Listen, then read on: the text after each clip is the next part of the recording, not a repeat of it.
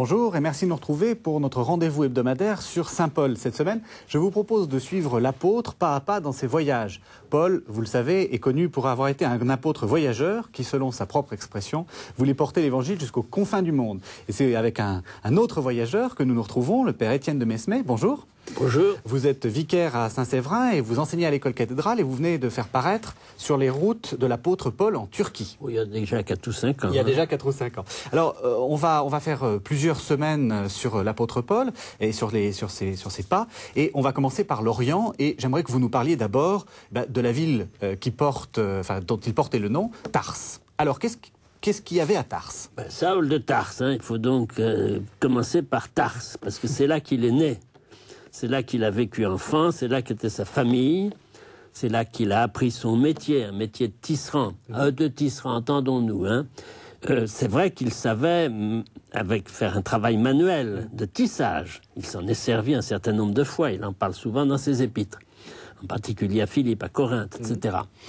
Euh, en fait, c'était beaucoup plus qu'être tisserand. C'était une entreprise ça supposait qu'on aille chercher le poil de chèvre sur les plateaux d'Anatolie. Ça supposait qu'on ait un réseau de commerce et de vente, etc. Mhm. Ce qui explique un peu les raisons pour lesquelles Paul avait des instincts voyageurs. Par définition, par le travail qu'il a appris chez son papa, il connaissait tous ces trucs-là. Mhm. Alors, Tars, ça ressemble à quoi?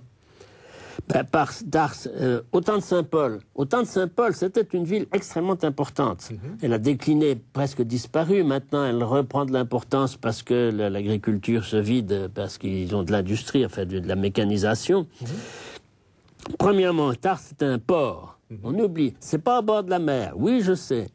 ah oui, c'est bizarre, mais je le dirai à plusieurs reprises. C'est plus au bord de la mer, mais c'était un port important. C'était une ville intellectuelle de premier ordre. Mmh. Euh, Strabon, historien, ancien, écrit que euh, Tars était beaucoup plus célèbre et connu qu'Alexandrie. À mon avis, il exagère quand même. Je pense aussi, hein. parce qu'Alexandrie, c'était quand même le, pôle intellectuel du bassin méditerranéen. Il faut dire quand même qu'au niveau intellectuel, c'était le top. Hein. Et dans ce contexte-là, il est juif de la diaspora et il reçoit une éducation juive stricte. Pharisien, fils de pharisien. Alors, à Tars, actuellement, on trouve quoi? Est-ce qu'il y a beaucoup de vestiges? Des souvenirs vraiment propres à Saint-Paul. On trouve sa maison? Euh, Non. Hmm. Vous ne trouverez pas sa maison. Enfin, il y a un truc qu'on vous montre comme étant les fondations de la maison de Saint-Paul actuellement. Mais c'est une fabrication tout à fait récente. Hmm. Non, les, pierres sont bien du 1er siècle, hein, mais hmm. enfin, quel rapport avec Saint-Paul Bon. Euh, vraiment, peu de choses. C'est un peu décevant. C'est pas très étonnant d'ailleurs. Il mm. euh, faudrait se balader dans toute la Cilicie pour retrouver un certain nombre de trucs qui sont beaucoup plus évocateurs de Paul. La Cilicie, c'est donc la région qui est, autour de. C'est toute la plaine côtière là, mm-hmm. qui, est au bord au sud de, la Turquie là. Euh, ce alors, ce qui est tout à fait magnifique, ils ont fait euh, un petit peu d'archéologie mm-hmm. intelligente. comme ils ont été obligés de faire du tout à l'égout, ils ont creusé. Mhm. En creusant, ils ont trouvé la route romaine, le cardo, la route principale qui traversait la ville de Tars, mhm. en état presque parfait. Une route somptueuse, euh, en pierre, euh, en pierre volcanique, donc euh, violette, bleu, bleu, oui, bleu sombre, avec une bordure blanche. Bien entendu, alors les boutiques et les colonnes qui étaient autour, il reste les bases, ils essayent d'en reconstituer quelques petits bouts. Mmh. Mais on peut dire vraiment que Paul a marché, a marché, a marché là-dessus considérablement, beaucoup. Hein. On montre aussi le puits de Saint-Paul. Euh, c'est un vieux puits. Bon. Il était autrefois présenté d'une façon un peu sympathique à l'intérieur d'une cour de maison. Euh, bon, voilà. Alors il y avait toujours des gamins qui faisaient marcher le puits, c'était très amusant. Euh, alors ils ont voulu faire mieux, alors ils l'ont. C'est là où ils ont creusé, ils ont trouvé donc, des fondations du 1er siècle, c'est les fondations de Saint-Paul. Ils ont mis tout ça dans une espèce de jardinet clos, euh, complètement décalé, quoi. Et alors, sauf qu'il faut payer pour entrer, c'est le seul intérêt du truc, pour eux. Pour eux.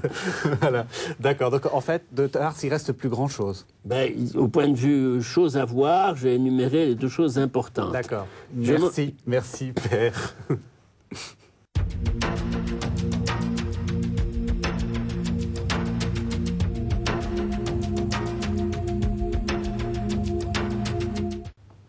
Alors, Père de Mesmet, on a, vu, euh, on a vu Tars la fois dernière, on continue sur les pas de Saint Paul avec euh, Jérusalem. Jérusalem, Paul y, va de temps en temps, et en particulier euh, dans sa jeunesse. Alors, il n'y va pas de temps en temps, il y est allé plusieurs fois, c'est vrai. Mais au point de départ où on en est, il est envoyé par son père faire des études à Jérusalem. Mhm. On s'est aperçu qu'il était intelligent mhm. et est envoyé d'Ardar, alors auprès des grands enseignants, des grands rabbins, et il explique lui-même comment il a étudié au pied de Gamaliel. Euh, pourquoi au pied de Gamaliel? Il n'y avait pas de grands amphis comme à la Sorbonne maintenant. Hein. L'enseignement se faisait sous les portiques. Il y avait le temple et autour du temple des grands portiques. Hein. Euh, ces grands portiques avec des colonnes, on était à l'abri du soleil en été, à l'abri de la pluie si pas d'art il pleut. Mhm. Euh, l'image que vous voyez peut-être en ce moment, euh, n'est pas de Jérusalem, parce que les portiques de Jérusalem n'existent plus. C'est une c'est les portiques d'une mosquée à Shiraz, mm. mais qui donne une idée de la chose, parce que sous les portiques d'une mosquée, quand euh, autant au moins j'ai pris cette photo, eh bien c'était un lieu où les étudiants se réunissaient ils s'asseyaient en petits groupes et ils faisaient leur travail par terre parce qu'il n'y avait pas de table, etc. Mais c'est comme ça qu'il faut imaginer Paul étudiant la Bible, la Torah au pied de Gamaliel. C'est ça, au pied, ça, signifie être assis pendant que le, maître parle un petit peu. Assis. Alors qui c'est ce Gamaliel? Ah ben, Gamaliel était un rabbin, un disciple des, grands rabbins, Akiba, etc. Euh, on le retrouve dans les actes des apôtres parce qu'à un moment donné, c'est lui qui dit, quand on dit il faut supprimer ces gens qui sont des, hérétiques, euh, dit, vous savez, si c'est pas Dieu qui est derrière, ça se disparaîtra tout seul. Si Dieu qui est derrière, c'est pas la peine d'essayer de, le détruire. Alors évidemment, de Jérusalem, on sait qu'il reste beaucoup de choses. Est-ce qu'il y a des souvenirs pauliniens?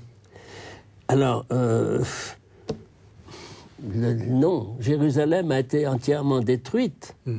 Hein, par les Romains. donc il reste vraiment peu de choses tout à fait du premier siècle. Hmm. Alors à, Jérusalem, il y a eu un événement considérable, c'est l'histoire d'Étienne, auquel Paul a participé. Euh, Étienne, diacre, euh, chrétien, euh, juif, bien sûr, d'origine, mais chrétien, est, traîné devant les tribunaux, lynché, et Paul est là, on dit garder les vêtements, c'est-à-dire c'est pas une situation d'acteur, c'est pas lui qui jette les pierres, mais il est un peu le, témoin officiel qui va consigner la, chose. Hein. Mhm. Et Paul a été très frappé par cette aventure-là. Euh, parce que la mort d'Étienne, c'est le premier martyr chrétien, c'est-à-dire qu'il s'est passé là quelque chose de très différent. C'est pas un héros qui est prêt à mourir.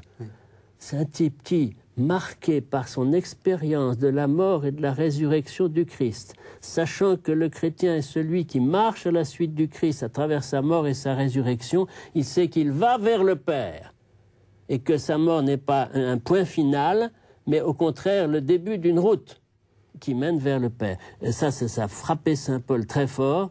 Et quand lui-même sera une fois euh, lapidé et laissé pour mort, je pense qu'il repensera à Étienne. Mm. Mais cette affaire de, l'expérience, de, le témoignage d'Étienne, Jésus est vivant. Et je vois le Fils de l'homme siéger à la droite de Dieu dans la, dans, la gloire. Hein. Mm. Euh, ça a certainement bouleversé profondément Paul. J'imagine qu'il a déjà d'ailleurs vaguement aperçu euh, les conséquences que ça pouvait avoir dans le rapport avec la loi. Et précisément, si Jésus est vivant et, s'il ouvre un avenir nouveau au monde, euh, la, position de la loi ne va plus être identique. Et ça, va être la, suite, la, grande affaire avec Paul, c'est que bon, bah, il, va, il va un jour, après l'événement de Damas, dont on parlera la prochaine fois, mhm. percevoir que c'est pas la loi qui sauve, ce qui est la position pharisienne type.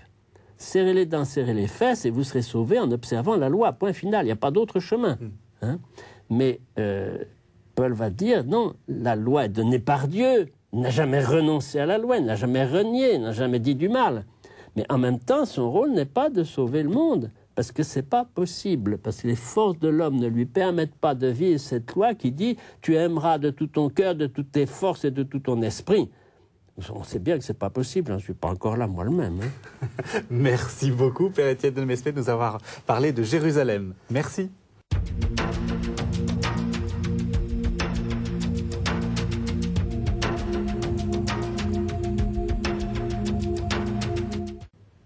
Alors, Père Étienne de Mesmer, on a parlé de Jérusalem la fois dernière. Maintenant, on va parler de Damas, qui, vous l'aviez dit, euh, est l'événement euh, important de la vie de Saint Paul, en fait. Sur le chemin de Damas. Voilà. Ah, il s'est passé quelque chose sur le chemin de Damas. Paul raconte lui-même à plusieurs reprises, plus exactement Luc on donne sa version dans les Actes des Apôtres à trois endroits différents, et puis Paul en parle lui-même dans sa lettre aux Galates. Une expérience tout à fait particulière. pas, pas, une expérience intellectuelle, une espèce de contact violent, le je et le tu. Hein. Je suis Jésus que tu persécutes. Qui es-tu, Seigneur? Tu, tu, je, tu. Et euh, il perçoit, il a cette expérience que le Seigneur Jésus est vivant et que s'il est vivant, ça doit avoir des conséquences et qu'il va falloir essayer de voir ce que ça veut dire. Mm. Et probablement, très vite, il prend conscience qu'il faut être porteur de cette bonne nouvelle. Ça ne lui est pas dit tout de suite. Hein. Mm. Alors on représente souvent ça avec un cheval, vol tombant de cheval, tout ça c'est pas très sérieux, il n'y avait pas de cheval. Euh, il y a de très beaux tableaux, hein. il, y a, le Caravage, qui est magnifique. Bon. Mais euh, oui, fait, toujours est-il qu'il est ébloui. Une telle lumière aveugle, hein, mm. un excès de lumière aveugle. Mhm. Bon, alors il est, il est quasiment aveugle, il est pris par la main, on le conduit, et alors euh, tu vas aller dans la rue droite, c'est-à-dire aujourd'hui la rue droite, on peut, elle existe, elle existe tout à fait, mais complètement défigurée parce que c'était cette immense euh, voie romaine, infiniment large, bordée de portiques avec des boutiques derrière, etc. Tout ça a été envahi par les souks et la rue est une petite rue. Euh, mais c'est l'emplacement. La rue droite, c'était en fait le, le, le lieu. C'est ce qu'on appelle le cardo. C'est ça. donc, toutes les villes romaines, c'est simple. Il y a, une grande ville, une grande route cardo qui traverse d'un bout à l'autre et une perpendiculaire, elle s'appelle le Decumanus. On trouve ça sur toutes, c'est le plan de toutes les villes romaines. Hein. D'accord. Donc là, c'était la grande, la grande rue. C'était la grande rue. Oui. Alors là, là, là, il va effectivement trouver. Euh, ah, comment il s'appelle? Anani. Anani. Anani. Anani qui est chargé de le baptiser. Hmm. Alors Anani baptise Paul, qui retrouve la vue, et euh, il va quitter tout de suite Damas pour évangéliser. Hmm. Les actes des apôtres disent vers le. Non, c'est Paul, qui, dit ça lui-même, vers l'Arabie. Bon, l'Arabie, c'est pas l'Arabie saoudite qu'on connaît aujourd'hui, c'est le pays des. Nabatéens. Des, Nabatéens. Des, Nabatéens. Oui euh, avec pour capitale Petra. Bon, il aura des ennuis là parce qu'il annonce quelque chose. Euh, le roi Arétas s'est déifié. Donc annoncer un autre Dieu, euh, c'est subversif, c'est politiquement subversif. Donc il va être chassé, se retrouver à Damas, euh, être, euh, il y a un représentant d'Aretas euh, à Damas qui lui cherche des noises, il va se sauver dans un panier. Là, il y a toute une histoire qui, est facile à comprendre. Damas, on montre une maison de, une maison d'Anani. Une maison d'Anani qui n'est pas. Ça ressemble à quoi? C'est une espèce de cave. on a. C'est une vieille cave. Remontant au, de, au, avec un X au premier siècle. Mhm. Bon, euh, avec probablement une confusion, car il y a eu à, Tars, pardon, à Damas un évêque au deuxième siècle, je crois, qui s'appelait Anani. Ah, donc euh, on a confondu donc, il y a des mélanges là. Enfin, c'est bon, c'est le seul lieu. Euh, ce qu'on voit à Damas, qui, que Paul a vu, c'est les restes du temple. Parce que le, le grand temple de Zeus, euh, il a, qui est devenu la mosquée des Omeyyades. Mhm. le, portique qui était devant le temple est encore en partie debout. Hein. il, a, introduit à la, dans les souks, là. Mhm. Hein. et une partie des murs de la mosquée sont les murs du temple. Alors après ça, l'intérieur a été complètement transformé. Hein. Mais là, il y, a un petit bout qui correspond au temple de Zeus qui était là au, 1er siècle quand Paul était à Damas. Et sinon, la contrée, rapidement, enfin, la, chute de cheval, on l'imagine dans quel type de paysage? Ah ben ça, alors là, euh, on, vous le présente dans trois endroits différents. Euh, selon qu'on est plus ou moins proche de Damas, etc., selon qu'on est orthodoxe, euh, franciscain, ou, et aucun lieu n'est sérieux. Hmm. On n'a aucun, aucune idée de l'endroit où ça a eu lieu. Hein. Il ne faut pas en chercher. Ce serait absurde. Merci, Père Étienne de Mesmet.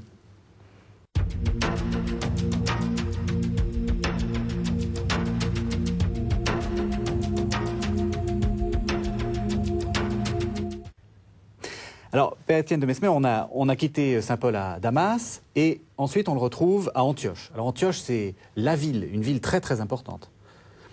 Ah ben, Antioche, c'est la troisième ville du monde, Hmm. euh, au premier siècle. La première, c'est Rome, la seconde, c'est Alexandrie, la troisième, c'est Antioche. Alors Antioche, Antioche sur l'Oronte, la Oui, voilà. parce qu'il y a bien des tas de villes qui vont s'appeler Antioche. hein. Antiochus étant un des généraux d'Alexandre, etc. Tous ceux nom- se sont partagés, se sont partagés le. C'était un fils de Séleucos, les Séleucides, les Lagides, bon, ça c'est Et tout donc, ça. pour que les, pour voient bien, Antioche, ça se trouve, ça se trouve où exactement?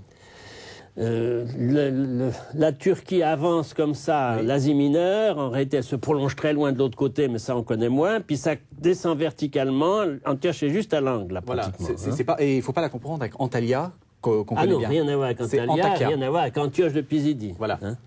Donc c'est une grande ville, énorme. C'est- c'est- c'est- C'est c'est une ville tout à fait fantastique. hein. Euh, c'est là que des chrétiens se sont mis pour la première fois à parler de Jésus à des gens qui n'étaient pas juifs. Des gens qui étaient éventuellement craignant Dieu, s'intéressant à ce que racontaient les juifs, mais qui n'étaient pas juifs d'origine. hein. Et euh, un certain Barnabé, euh, qui était à Jérusalem et qui a été envoyé là euh, pour voir un petit peu ce qui se passait, voyant que les non-juifs accueillaient la bonne nouvelle, euh, se dit mais moi j'en connais un qui, euh, qui est capable de faire ça. Euh, on lui a fait quitter Jérusalem parce qu'il mettait la pagaille. On l'a expédié chez lui car il a passé dix ans à Tars, dans la région de Tars à évangéliser. Mais alors là, on n'a pas de renseignements sur la question. Et donc il va le chercher à Tars et il le ramène à Antioche. Antioche, c'est la grande ville où pour la première fois les disciples reçurent le nom de chrétiens. Oui. Alors, il reste quoi d'Antioche? C'est un peu décevant, non? Alors avec tous les tremblements de terre qu'il y a Eh eu, oui, eh oui. et ça alors là il y en a eu un pagaille. hein. C'est une région très Euh, sismique. de, de strictement paulinien, il reste euh, l'Oronte qui traverse la ville, C'est le fleuve. le fleuve. Euh, il reste des tas de mosaïques. Des mosaïques superbes, il y en a plein, plein, plein. La- le musée, des, le musée une- mosaïques à une Tâche est, tout une à des- fait- tout est à une fait- des plus. Ah ben non, ça c'est pas Antioche, ça c'est Séleucie. C'est le site dont on va parler juste après. On y va à Séleucie. Mhm. Donc Paul va, être, euh, va évangéliser pendant un bout de temps Antioche et du coup, euh, Paul et Barnabé vont être envoyés, envoyés en mission. Comme Barnabé est chypriote, il emmène son copain Paul vers Tars et il s'embarque là dans ce port de Séleucie que vous avez aperçu, hein, qui, est, est le port de la ville d'Antioche. Antioche n'est pas du tout au bord de la mer, il y a une chaîne de montagnes qui la sépare de la mer. Le- le- On voit d'ailleurs la sur la photo les- la, la chaîne de montagne. ah ben non, la chaîne de montagne, est Antioche n'est pas de ce côté-là. Antioche est dans, dans votre dos. Hein? D'accord. Antioche est dans votre dos, mais c'est une, énorme chaîne de montagne qui, est, qui, qui domine cette espèce de, de fleuve là. Mhm. euh, c'est- là que s'origine l'histoire, l'histoire de Séleucie. Parce que pourquoi c'est devenu un port? Parce qu'au sommet de cette montagne, il y avait un temple. Et alors, euh, Séleucos, quand il est arrivé, il voulait faire un port, il savait pas où. Alors, un aigle est venu. euh, euh, s'est emparé de, la victime qu'on voulait présenter à Dieu au temple, au sommet de la montagne. Il est parti avec et il a lâché sa- sa proie qui est tombée à- à- là où est devenu le port de Séleucie.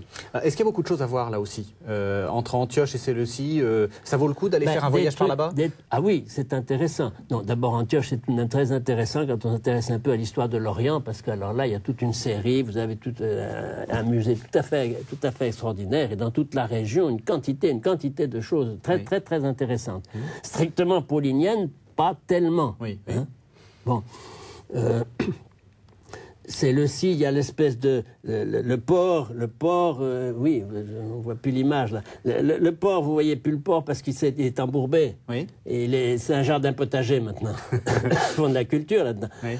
Et déjà au premier siècle, le torrent qui traversait le port amenait des alluvions et remplissait le port. Après le passage de Paul, parce que c'est quand même postérieur, Titus, qui a voulu utiliser ce port, a fait le projet de dévier le torrent, et pour ça, de creuser un chenal qui traverse euh, une chaîne, pas de montagne, mais enfin une grosse chaîne de collines. Donc il y, a une partie souterraine, une partie creusée dans le roc. Ça a été creusé par Titus avec des prisonniers juifs de la guerre juive. C'est assez spectaculaire. C'est assez spectaculaire. C'est postérieur Merci beaucoup, Père Étienne de Mesmet.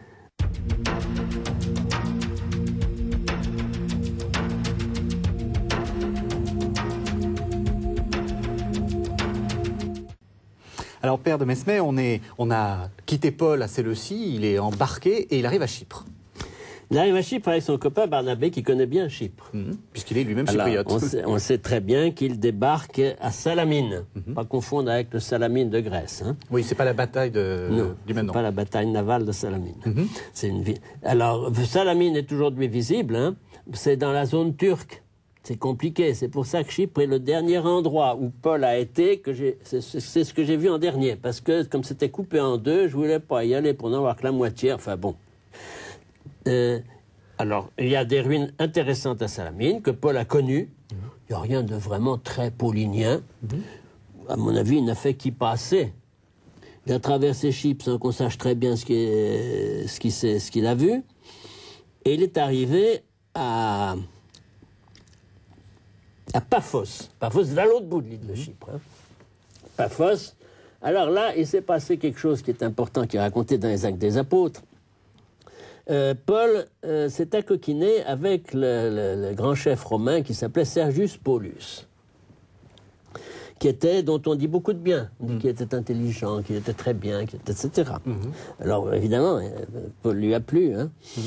Et, mais voilà que quand il comparait, un, un, personnage dont on dit qu'il était juif d'ailleurs, qui se prétendait magicien, etc., Elimas, qui faisait des, des, oui, mhm. des trucs pas très sérieux, des, oui, plus que des tours. Hein. Mhm. Et alors il est là avec Paul et alors euh, ça va très mal, il se fait engueuler et, euh, tu, tu, es, tu, es, un infect, etc. Et euh, d'ailleurs Dieu va te punir et il devient aveugle. Euh, l'important là-dedans, c'est surtout le, rapport avec Sergius Paulus. D'abord parce que c'est à partir de ce moment-là que Shaoul de Tars va s'appeler Paul. À cause du nom du, du gouverneur Incontestablement à cause du nom. Qu'est-ce qui s'est passé au juste à ce moment-là On ne sait pas très bien. Est-ce qu'il y a eu un lien plus précis? Euh, Personne ne le dit. Hein. Mais c'est effectivement à ce moment-là que Shaoul devient Paul. Mhm. Euh, Sergius Paulus a des relations sur les plateaux d'Anatolie, en particulier à Antioche de Pisidie. Il a une fille qui s'est mariée là-haut. Hein. Donc il discute certainement de, des zones sur les hauts plateaux que Paul connaît probablement, je ne pense pas qu'il y ait jamais été, mais ses relations commerciales vont certainement jusque-là. Donc il a des échos, il connaît un petit peu, il sait qu'il y a une communauté juive, il sait ce qui se passe dans cette, dans cette ville, d'Antioche de Pisidie. C'est important hein. ce que vous dites, c'est-à-dire qu'on a l'impression que, que Paul part à l'aventure, pas du tout. Pas du tout, c'est pas un explorateur. Voilà. Ah, pas du tout. Alors ça, à chaque, à chaque fois, il sait pourquoi il y va, et c'est pas... Alors, c'est un explorateur en ce sens. Les trajets ne sont pas toujours très faciles. Franchir le Taurus, on en parlera, c'est une aventure c'est un aventurier, si vous voulez, mais pas du tout un explorateur. Mais il suit les routes commerciales, il est reçu par de la famille. Euh, enfin, il ne part pas comme ça, sac au dos. Absolument. Mhm. Absolument, ça, il a des relations. Et alors, euh, euh, quand il va quitter Chypre, on ose dire, c'est pas prouvé, hein, mais on ose dire que probablement il accompagne des envoyés de Sergius Paulus qui envoient un message ou quelque chose à Antioche de Pisidie Peut-être même aurait-il été chargé lui-même d'une mission un peu euh, civile, je ne sais pas mhm. comment dire ça, moi, oui.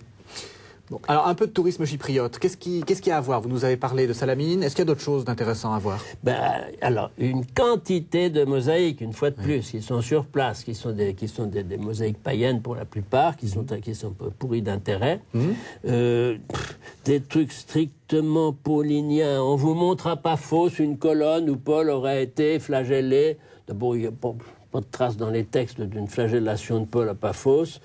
Euh, certainement, euh, a été construit à cet endroit-là, dans l'Antiquité, une énorme église à sept nefs, quelque chose de gigantesque qui est complètement ruiné. Hein, mais dont il reste quand même, alors même par terre, quelques petits morceaux de mosaïque. Il y a, euh, c'est intéressant. Hmm. Strictement paulinien, des traces de Paul là-dedans. Merci beaucoup, Père Étienne de Mesmet. Donc, euh, je rappelle aux, téléspectateurs que vous venez d'écrire, enfin, vous avez écrit sur les routes de l'apôtre Paul en Turquie. Et euh, donc, euh, toute la semaine, nous avons parlé de l'Orient. Et la semaine prochaine, nous allons continuer avec vous pour suivre Paul, mais cette fois-ci plutôt en Asie, en Asie mineure. Merci de nous avoir suivis. On se retrouve donc la semaine prochaine.